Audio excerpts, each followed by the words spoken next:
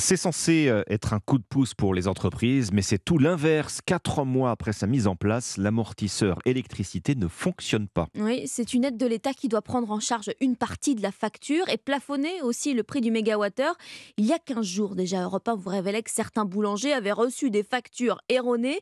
C'était le cas de Mélinda dans les Hautes-Alpes. Aujourd'hui, rien n'a changé. Pire, Margot Faudéré, elle s'inquiète désormais pour la survie de son entreprise. Oui, Melinda avait reçu sa facture pour les mois de janvier et février à la mi-mars sans amortisseur. Suite à l'enquête d'Europe 1, EDF avait alors mis en place un échéancier pour qu'elle puisse la payer en quatre fois.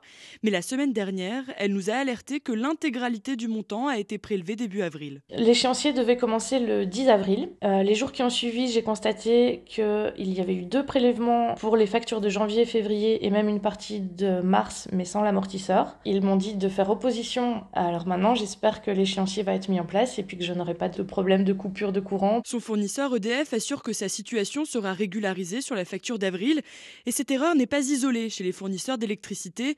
Françoise gère une boulangerie dans l'Essonne avec son fils. Depuis janvier, ils n'ont reçu aucune facture. J'ai peur de me retrouver avec une facture d'un montant euh, de 9000 euros pour les trois mois. Et ma trésorerie ne me permet pas de payer cette facture en une seule fois. Quoi. Contactée par Europe 1, Terralis, son fournisseur, nous assure que Françoise ne paiera pas tout d'un coup. Elle devrait recevoir la première facture dans les Margot Faudéré du service économie d'Europe.